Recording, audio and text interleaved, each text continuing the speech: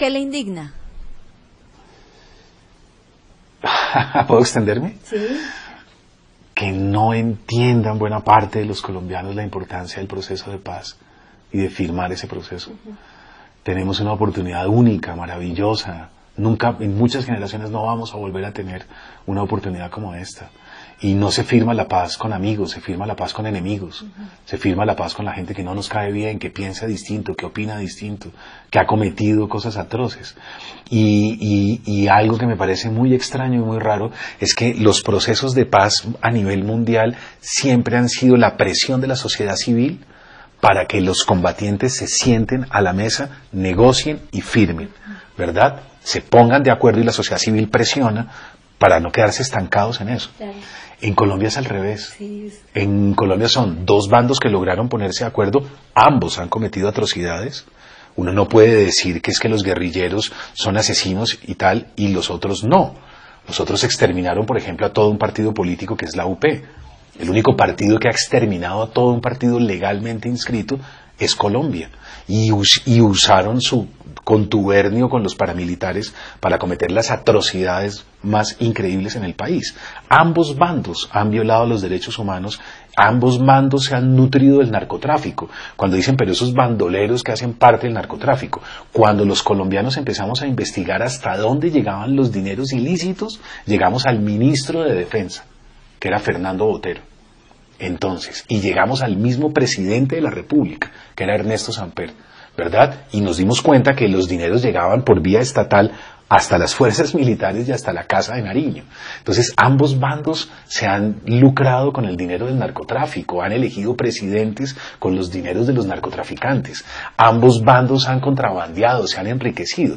¿Qué es lo que hace que los bandos se sienten en la mesa y logren finalmente los acuerdos para construir un nuevo país, nuevas generaciones y a los muchachos que vienen darles becas, posibilidades de que estudien, de que salgan, hagan maestrías, doctorados, de que no se endeuden, que no terminen una, una profesión y terminen finalmente endeudados para empezar a pagar préstamos eh, educativos, ¿verdad? Entonces, yo lo que creo es que es la presión de la sociedad civil la que permite eso. En Colombia es todo lo contrario. Los bandos se pusieron de acuerdo, ellos dos ya firmaron, llevan cuatro años, finalmente se pusieron de acuerdo, se dieron la mano y somos nosotros los que no queremos la paz. Entonces, si algo me indigna es cómo hago para transmitirle a los colombianos la importancia de esto y decirles, si ellos logran allá eso y nosotros no apoyamos el acuerdo, ¿qué significa? Que el problema no es la guerrilla, y el problema no son los paramilitares, el problema somos nosotros.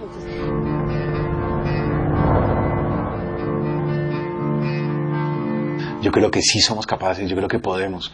Los colombianos hemos matado de todas las formas posibles.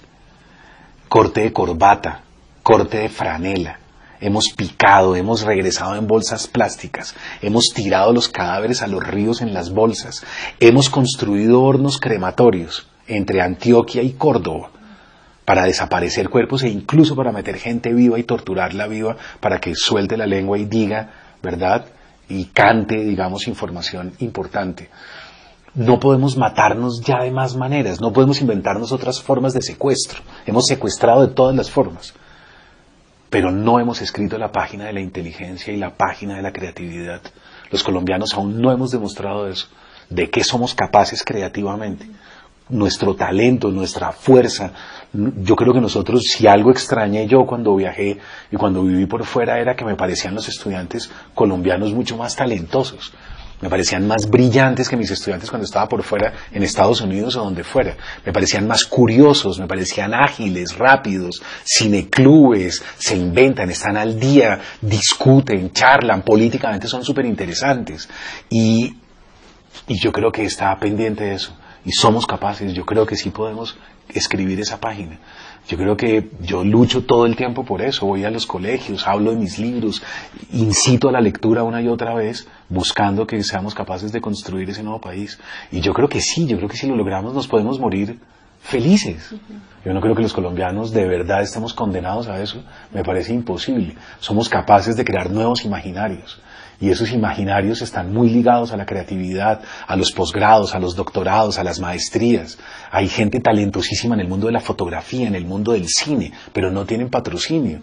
No hay financiación, no hay cómo ir a estudiar con los mejores o en las mejores universidades. Si sacamos el presupuesto del Ministerio de Guerra, del Ministerio de Defensa, y lo pasamos a educación y cultura, vamos a tener para poder pagarles todo eso. ¿Cómo no vamos a ser capaces de eso? No hay un ejemplo en el mundo, uno, de un país que haya salido del subdesarrollo comprando armas, armas y tanques. ¿Cuál? ¿Dónde?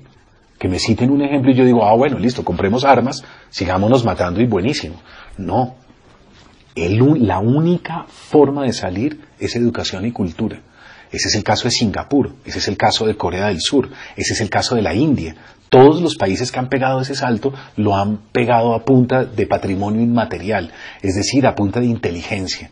Y lo otro que me disgusta profundamente es que yo pondría en ese voto donde yo hubiera hecho el plebiscito, yo hubiera puesto algo. Y es, si usted vota por la guerra, váyase a la guerra. Usted. Y mande a sus hijos a la guerra. O sea, pero es que aquí hay una doble moral. Aquí hay algo que es moralmente incorrecto. Y es que yo voto por el voto por la guerra, o sea, voto por no tener el proceso de paz, pero mando a que se mueran otros, a que se maten otros. Y hacer la guerra con sangre ajena es muy fácil.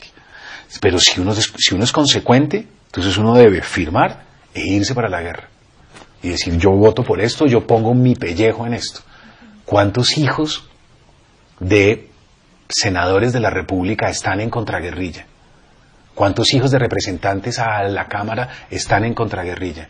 ¿Cuántos hijos de grandes empresarios colombianos o de estratos 5 y 6 están en la guerra?